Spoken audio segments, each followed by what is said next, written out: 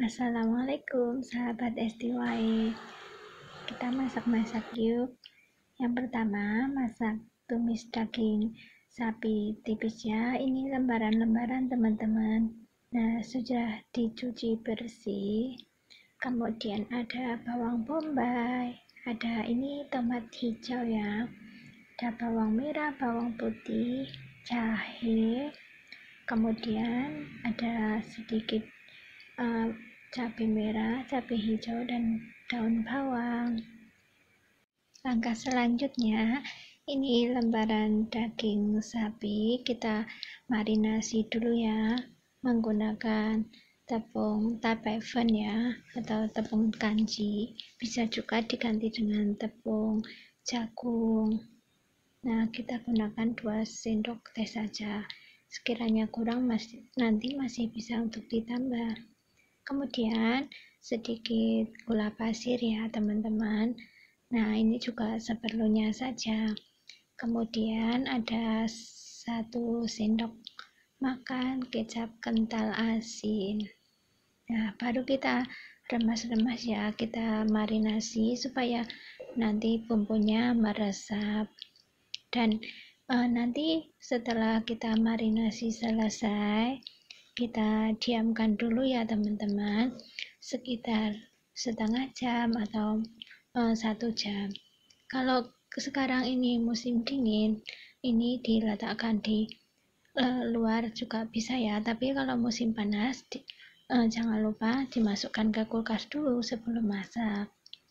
Bahan-bahan lain pun sudah kita persiapkan. Itu ada kecap kental asin ya. Ini setengah dari bawang bombay tadi daging sapi yang sudah dimarinasi dan bahan-bahan lain. Nah seperti masak-masak biasa ya teman-teman. Kita menggunakan bumbu praktis saja dan menggunakan bumbu iris. Karena di sini kalau harus proses ulek mengulek itu uh, saya kurang kurang suka dan kurang bisa. Nah ini kita tumis juga uh, bawang bombaynya ya. Tapi karena uh, tadi kak sepertinya terlalu banyak saya cuma menggunakan setengah bawang bombay saja. Dan ini tomatnya juga unik teman-teman. Meskipun di luarnya agak kelihatan hijau ya tapi dalamnya warna merah dan rasanya manis sekali. Nah kita tumis-tumis sebentar karena ini resep untuk nenek. Jadi nanti masaknya juga agak lunak sedikit. Dan itu tadi uh, apa kecap asinnya sudah saya tambah dengan sedikit air hangat ya. Kemudian ada kaldu jamur gula pasir dan garam bisa kita tuangkan. Tambahkan juga sedikit air panas ya teman-teman supaya nanti bawang bombaynya sedikit lunak Nah, sekiranya sudah hampir lunak, itu daun bawangnya baru bisa kita tuangkan. Masaknya praktis-praktis saja teman-teman. Nah, ini uh, tadi yang daging sapi yang sudah dimarinasi bisa kita ikut tumis ya, tapi perlu diingat tidak usah ditumis terlalu lama karena nanti uh, tekstur dagingnya akan mengeras dan sedikit alat ataupun atos. Jadi kita um, memasak menumisnya daging sapinya sebentar saja teman-teman sekiranya sudah uh, agak lunak gitu kita angkat saja ya supaya nanti lansia pun bisa bisa ikut menikmati. Dan alhamdulillah tes-tes rasa sudah cukup ya sudah pas rasanya.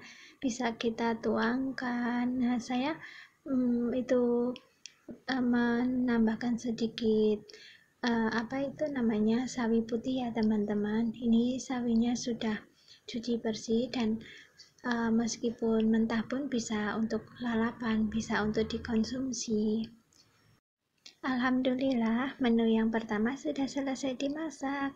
Tumis daging sapi tipis ditambah dengan bawang bombay nyami lalu kita lanjut ke tumis yang kedua teman-teman. Nah ini ada tadi ikan teri bawang merah bawang putih buncis sedikit cabai merah ya. Nah ini terinya ikan terinya sudah saya tambah dengan tepung tapeven ya.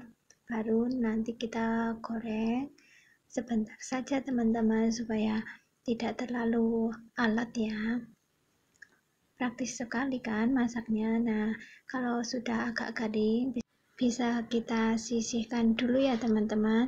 Ini tidak harus uh, ditiriskan tidak apa-apa. Cuma tadi saya mengambil sedikit uh, takutnya nanti nenek pengen mencoba masak makan ini.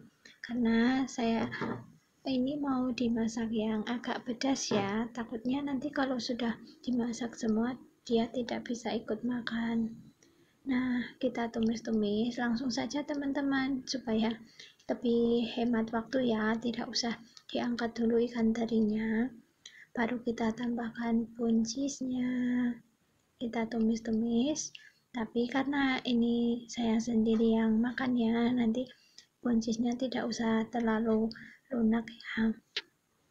Ini ikan terinya juga tidak asin ya teman-teman. Jadi bisa ditambahkan dengan uh, kaldu jamur sedikit garam dan sedikit gula pasir saja sudah cukup ya.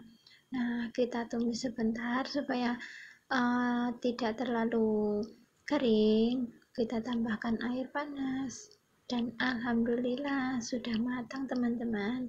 Ini siap untuk disajikan. Mari makan teman-teman Terima kasih ya yang selalu setia membantu menonton untuk full durasi. Ada salah kata atau sikap mohon maaf ya teman-teman. Ketemu lagi di video berikutnya. Wassalamualaikum